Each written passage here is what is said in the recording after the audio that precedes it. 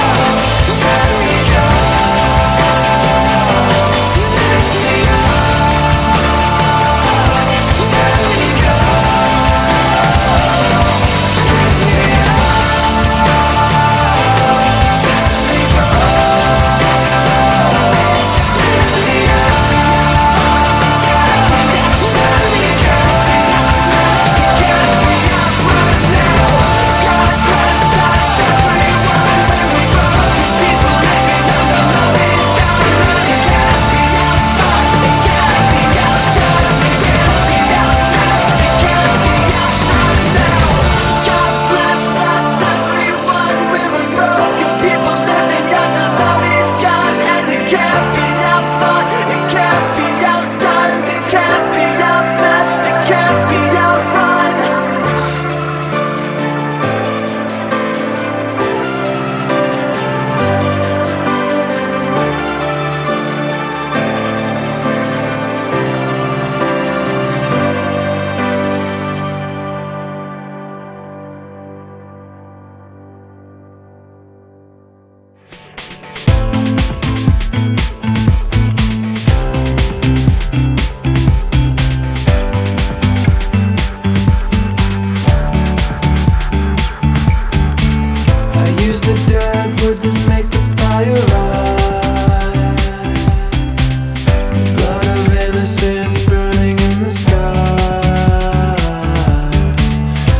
Filled my cup with the rising